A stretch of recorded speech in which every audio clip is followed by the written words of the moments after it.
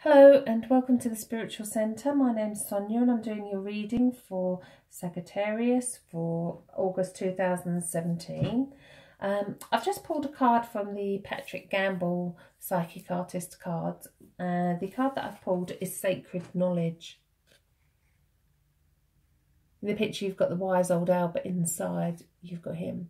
This is about you realising that everything you need, everything you wish for is within you. You have all that knowledge within inside you.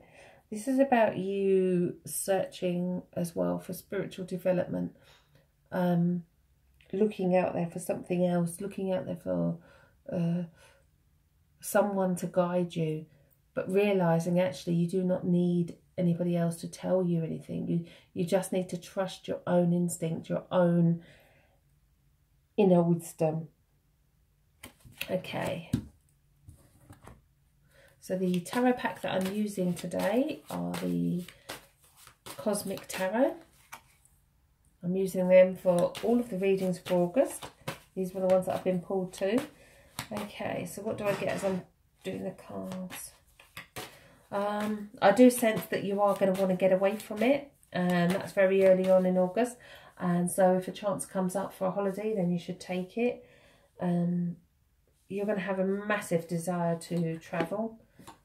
So whether that be with work or just to get away, um, then you should go for it. Um, what else?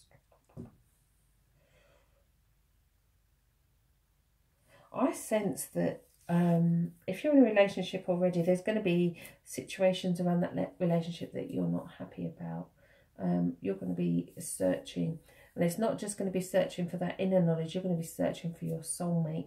And this is the month that it could happen. So all those who are single, all those who are unhappy, August could be a massive change for you. Um, you're going to have the clarification as well that you know that this person is right for you. Okay, work-wise, um, new opportunities, new job. If a doorway opens, then go for it. Because this is the month of travelling, changing, um, grabbing opportunities that show themselves in front of you. Um, and trusting that this is the right thing. But it's also a month for spiritual development as well. I think it's going to be a, a big shift in, in your own personal spiritual development. So let's get on with the reading. And the card, the High Priestess. Okay, so she is everything spiritual.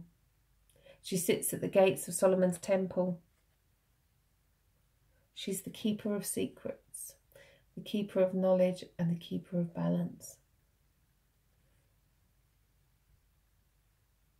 She's naturally clairvoyant and she always, always, always trusts her gut instinct. So right now you need to be using your intuition. You need to be developing your, your spiritual abilities. Because if you develop your spiritual abilities, it's going to lead you into every other area of life a much more fulfilling life as well. Okay, so what stops you doing this? Let's have a look. The Ace of Swords. So you don't have trust, you don't have faith. You maybe don't believe what's going on. The Ace of Swords are all, well, the Aces are all gifts. The Ace of Swords is a gift of a new belief. So spiritually, I feel that spiritually you're going to have a wake up and you're going to be given evidence um, of something that's just so profound that you have no choice but to believe it. So look out for it. Look out for it in dreams. Look out for it in signs within your home. Ask Spirit to show you something. It is going to happen. Okay, so what's led you up to here? The Prince of Swords. Now, all the court cards in the tarot pack I see as individuals. Now, the Prince of Swords is somebody who doesn't actually care about somebody else's feelings. So, if you're a male, this could well be you. You've been charging ahead and not really caring about others. If you're female, then this could mean that there is a male around you who who doesn't really care about how you feel and whether they're hurting you right now. Look for that male because that male is important to here and now and, and where you're heading. There is someone around you that has these characteristics. Okay, in your subconscious is Three of Cups and the cups in the picture are all overflowing. These are, the threes are all celebrations, and this is about celebrating with others, celebrating with your friends. So I sense that probably you haven't spent as much time with your friends at, uh, as you could do, as you'd like to. Maybe because of this person, or maybe because you are this person. Um, you need to lighten up a bit. You need to let go and, you know, Go out there and have fun. Go out there and enjoy life. That's what it's for. We come in with nothing, we go out with nothing. So enjoy the, the experience while you're here. Okay, in your higher conscious, we have beautiful card. So you've got the Ace of Swords and the Ace of Wands around you at the moment. The Ace of Wands is that creative idea, that new spark. So where I said there's going to be a change with you spiritually, they're going to give you a gift. They're going to give you a creative gift that you can put into practice. Perhaps you already know what this is. I always sense that we do know deep down what our true purpose is. This is about writing, um, painting, poetry. It's something that is unique to you. And don't forget, you already have all that knowledge within. That's a fantastic card for this reading. It's going to be a massive month for you growth wise. August.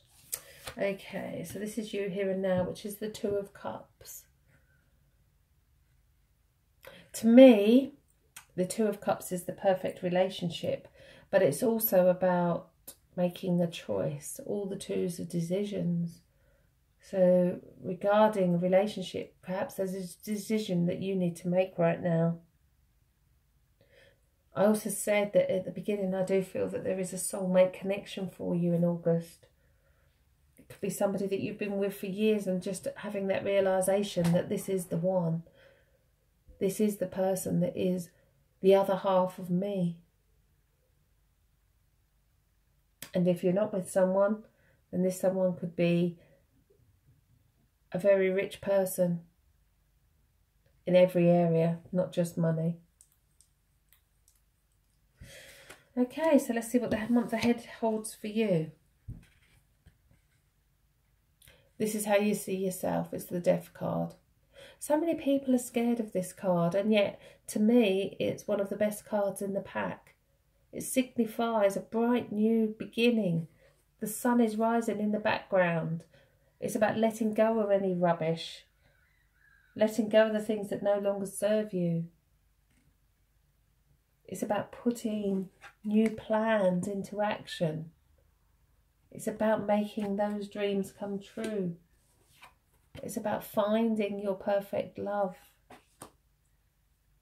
It's about having a new thought pattern, new beliefs, trusting that this can happen, trusting that this will happen, trusting that this is what should be happening for you. Fantastic card. Okay, so how do others see you? Nine of Pentacles. Okay, so others will see this. Uh, it's the card of luxury. And so I said with travel, with relationships, it's almost like a perfect world and others will see it. These things that are coming in for you right now, right here and now, are going to give you this complete sense of fulfillment. And others are going to see that in you. Others will see how contented you are, how happy you are. Because you'll have made all these decisions yourself. I also sense that if you are travelling, that you will find your soulmate on your travels if you haven't met them. Again, if that opportunity comes up, then take it. Okay, so what's in your hopes and fears position? Temperance. The temperance to me is the healing angel. And again, she's pouring water where she doesn't need to. She's not watching what she's doing. And the sun is there. The sun is, is going down. It's sunset. This is about changing around. So you don't always see these bright new beginnings. You don't see that new sunrise. Because you're thinking, oh, you know, what have I done? Why, why did I do that? Why, sh why should I have done that? Is this the right thing for me to be doing? You're second questioning yourself. You're second questioning the gifts that you're being given. Okay, so your final outcome. Before I change, turn the card, I always like to say we can change the final outcome with free will. So, your final outcome is the Seven of Pentacles. Now, this is a card you want to change because the Seven of Pentacles is working very hard, putting all these things into place, putting all these things into action, but actually none of them are going to take root unless you believe it. You have to believe it. You have to have that belief in yourself. You have to trust. You have to know that you have all that knowledge within. Look at the gifts that you've been given this month coming. That new gift of new beliefs. The gift of clairvoyance, of spiritual development, of intuition. The gift of something creative, writing, poetry, painting, any creative idea, make it happen. The gift of a brand new relationship or rekindling of your relationship. Seeing things differently within that relationship. Making those choices allowing the new beginnings to come in. Don't be scared of this card. Allow it to happen. Because you'll have the life of luxury. It's there for you to take. And it's up to you with the decisions that you make as to whether these things will come off for you this month. Okay, so let's pull you a healing angel card to finish the reading. And the card we have is forgiveness. The card speaks for itself. When we forgive somebody, we don't forgive that person, we forgive ourselves. So this is about allowing yourself time to heal, time to um, say to yourself that that's not going to affect me anymore that's not going to affect me anymore because I'll end up like this. I don't want that. I've got these new beginnings coming in. I've got these new areas coming in. I've got these new gifts. I've got the opportunity to travel. I've got the opportunity to find my soulmate. Fantastic opportunities coming up for you in August. You just need to look for them.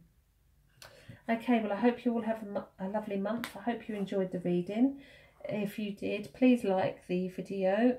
And if you haven't already, subscribe to my channel. I love to read your comments. Um, it's lovely to talk to you. If you would like a private reading, there is a link at the bottom as well for my website. And I hope you all have a fantastic month. And I hope that your new ideas, your new gifts that you're being given you make them happen. It's up to you to make them happen. And if you do, please let me know. It would be lovely to hear from you. Have a lovely month. Thank you for listening.